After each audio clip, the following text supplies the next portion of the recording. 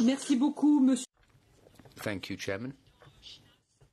Uh, Vice President Schinas, I would like to welcome your proposal.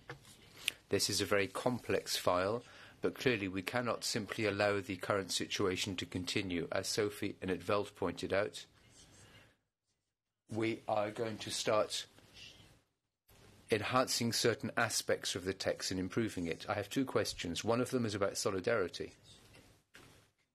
What can we do to ensure that a large majority of member states participate in this mechanism?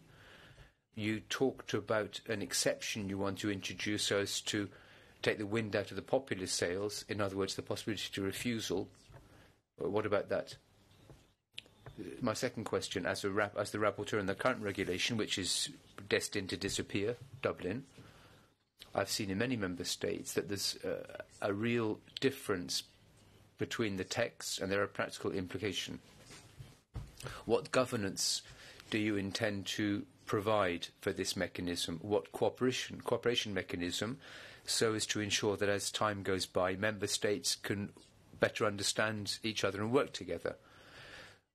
for the time being, member states jealously guard their sovereignty when it comes to these measures.